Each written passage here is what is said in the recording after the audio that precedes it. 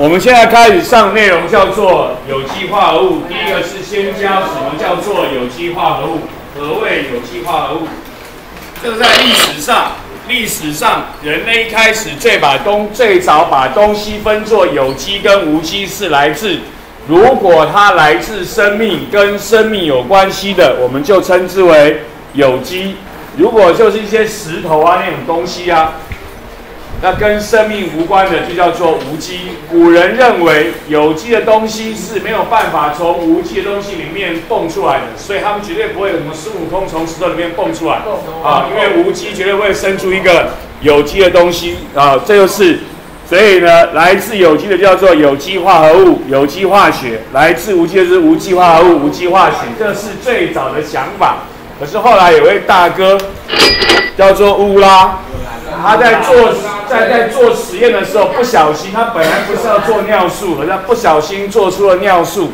尿素是尿里的成分，是所谓的有机的，可它却是从什么氢酸钾、硫酸铵啊，那都是无机的东西所做出来的。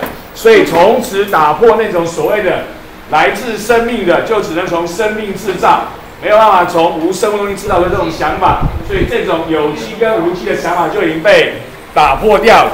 那么，但是这个名词还是留着啊，就有一些原因把它留下来。我们现在所谓的有机化合物是指的含碳的化合物，含碳的化合物我们称之为有机化合物。重点，含碳的化合物叫有机化合物。但是历史上有一些化合物当初就被列在无机，所以现在虽然它含碳，我们继续说它是无机，包括一氧化碳。二氧化碳、碳酸盐跟氢化物，有些老师没有教氢化物，没有关系。好，而且你看到这个字要小心，这个字就代表剧毒的意思，有这个字是剧毒的意思。OK，啊，重点是前面三个一定要记住：一氧化碳、二氧化碳跟碳酸盐，就是碳酸钙啦、碳酸钠啦、碳酸氢钠啊，叫碳酸盐类。这个虽然有碳。但是我们仍然把它列在无机化合物当中，所以考试重点一：什么叫做有机化合物？含碳的化合物叫做有机化合物。重点二：哪些是例外？一氧化碳、二氧化碳跟碳酸盐类，还有我有讲的氢化物叫做叫做例外。OK，这是你要记住的事情。好，什么叫做有机化合物？含碳的化合物叫做有机化合物。有，但是一氧化碳、二氧化碳、碳酸盐是例外。那有机化合物除了碳之外，还有别的东西，主要是氢，主要是，但并不是所有的有机化合物都有氢，但主要是氢。除了氢之外呢，还有氧啊、氮啊、硫啊、磷啊这些东西。所以发现好像不多嘛？对，不多。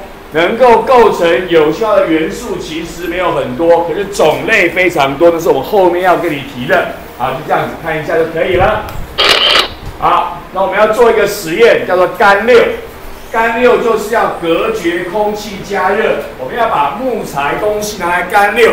那为什么要干六？为什么要隔绝空气呢？因为它可燃啊，木材可燃。所以如果你直接放到空气中加，它就烧掉，烧掉，它就不会去分解。所以呢，我们要把它隔绝空气加热，这样它才会分解。因为呢，木材是可燃的。我们总共会提到两个东西的干六，这是第一个叫做木材的干六。我们未来还会提到煤炭的干六，煤的干六。那我们怎么样隔绝空气呢？左下角这张照片，这个图呢是古时候的做法。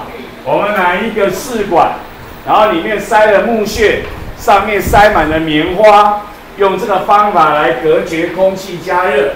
但是现在我们都用右边这张照片这个图里面所显示的方式，就是用竹筷子拿铝箔把它包起来。这个是师大肖志荣教授所提供的方式，希望我们用这种方法，因为比较简便。比较简便，比较好，也比较很好做。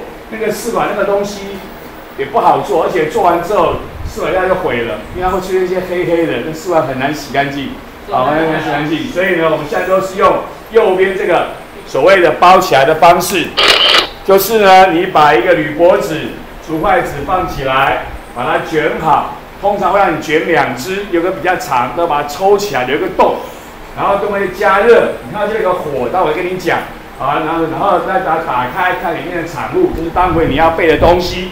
待会你要背的东西叫木材的干六。好，你把那个铝箔把那个竹块包起来，放在火上烤烤烤烤烤的时候，然后它就开始分解，分解产物有气态产物、液态产物跟固态产物。麻烦你通通背下来。气体产物有一氧化碳、二氧化碳跟氢气跟甲烷，除了二氧化碳之外，通通可燃。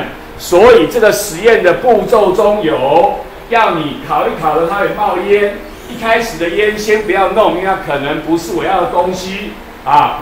然后就开，然后呢，冒一段时间就点火啊，看它可不可燃。答案叫做可燃。它的气体产物里面，除了二氧化碳不可燃之外，其他的一氧化碳、氢气跟甲烷都是可燃的，所以你可以点火让它可燃。这是我们以前学生做实验的拍的照片，看它可燃啊！你们应该也会做出这种结果哈，大部分都会成功了。如果你做不成功的话，那就太那个了啊！火还很大，你看没有？火还很大一只。要，所以要点火，看它是否可燃，然后可燃，气体产物可燃，然后呢，还有所谓的液态产物，有两个，一个叫做黑黑的焦油，黑黑的焦油，一个叫做无色透明的是醋酸，这个是古时候，别的欧洲有一些人不会用发酵法做醋的时候，用这方法做醋，把木头烤一烤，然后里面就会醋跑出来，跑出来的。所以会让你拿什么试？是试它一下酸性还是中性还是碱性？是它酸碱性啊？液态产物有黑黑的焦油一种混合物，还有无色透明的醋酸，还有一个重点是它的固体产物碳。烤完之后那根黑黑的就是碳，就是就是黑黑的就是碳，木就是那根木炭，黑黑的就是木炭。OK，好，这也是我小时候所不能理解的事情啊。我小时候，人家告诉我，那个木炭呢，就是木头烧过以后的剩下的。啊，我不懂啊。那为什么的木头只能烧一次，烧完就变成灰就没有了？它木头可以烧两次，烧完变成木炭卖钱卖卖给我赚钱。啊，就他们所谓烧是什么意思？干六，干六，做个做个窑，加热，把木头放进去，然后焖起来，干六，啊，拿它拿出来就是木炭。不是真的去点火把它木头烧掉，不是这个意思，不是这样意思。OK，好，就干六。所以固体产物就是碳，这是重点，是重点。好，所以你从这个反应当中就可以知道，我那个木头里面会有碳、有氢、有氧。啊，有碳、有氢、有氧，因为剩下就是碳，所以就知道有碳嘛。啊，有氢气嘛，氢气啊，氢气，还有一氧化碳嘛，二氧化碳嘛，所以会有氧。所以呢。我由这个实验，我可以知道木炭呢，你竹筷子里面至少有这三个成分：碳、氢、氧。OK，请问有人有问题了吗？没有，很好。